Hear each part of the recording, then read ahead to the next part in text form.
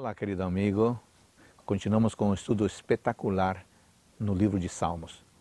No salmo de hoje, temos um hino que louva a Deus por sua bondade em favor do povo escolhido, bem como por suas bênçãos à terra. Este salmo consiste em três divisões e cada uma começa com um chamado à renovação do louvor. Já que Deus cura, restaura, provê e controla toda a natureza, o salmista faz um convite para o louvor universal. Este hino também mostra que ele provê as necessidades especiais do seu povo e se alegra em habitar no meio das pessoas. Davi tinha bons motivos para louvar a Deus. Em primeiro lugar, porque ele cuida dos seus. Foi Deus que edificou Jerusalém e a protegeu.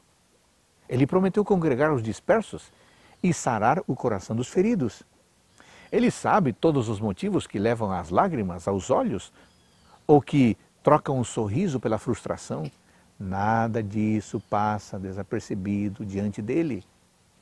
Como diz Ellen White, nada do que de algum modo se relacione com a nossa paz é tão insignificante que Deus não observe.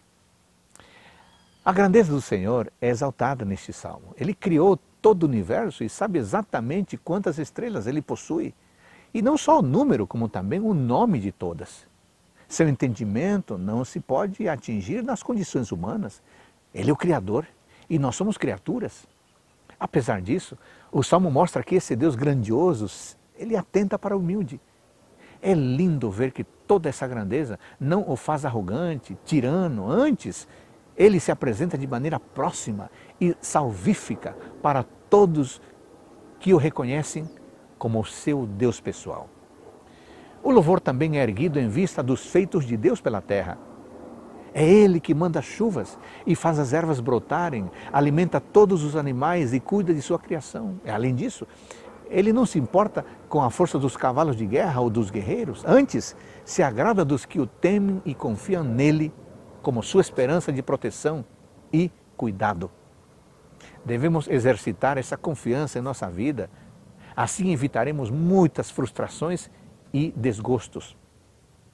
A proteção divina era sentida de tal maneira que o salmo mostra que ele reforçava as trancas, bem como dava paz nas fronteiras. Esses eh, eh, locais eh, eram expostos aos inimigos, mas estavam seguros com Deus. O final do hino é elaborado para dizer que Deus cuida de seu povo a ponto de dar a sua palavra a eles. Que privilégio para nós termos um Deus que nos ama e cuida de nós. E além disso, Ele nos deu a Sua palavra para nos instruir conforme a Sua boa e santa vontade.